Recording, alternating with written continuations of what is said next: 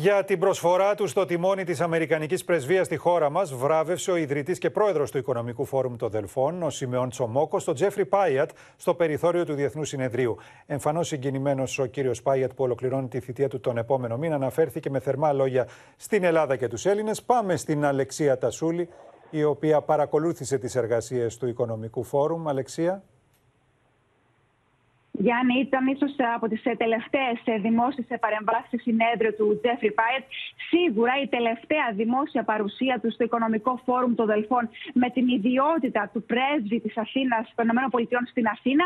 Και αυτό διότι ο κύριος Πάιετ σε λίγες μέρες από τώρα, στις αρχές Μαου, αποχωρεί, ολοκληρώνει την θητεία του σε αυτό το πόστο και παραδίδει την σκητάλη στον ε, επόμενο ε, Αμερικανό πρέσβη, τον Ελληνοαμερικανό Τζορτζ Τσούνε. Ε, ήταν συγκινημένος πολύ ο κύριο Σεπάιατ όταν ε, παρέλαβε αυτό το, το βραβείο από τον ε, κύριο Τσομόκο.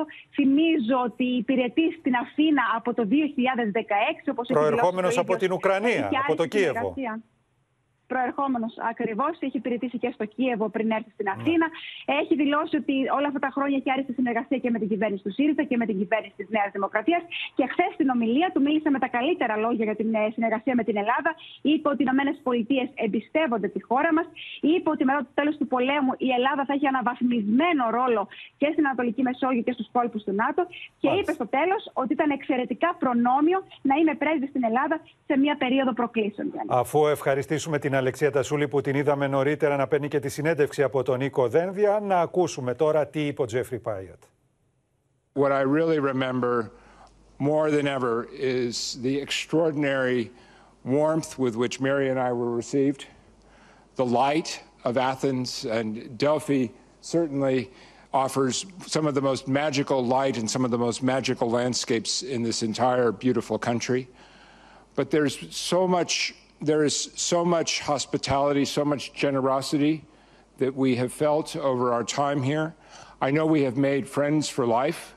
And while we will pack our bags from the residence in Athens in a couple of weeks, I'm certain that we will be back in the future. And much more importantly, I know that we will always carry in our hearts a piece of Greece and a piece of all that this magical and wonderful democratic country represents.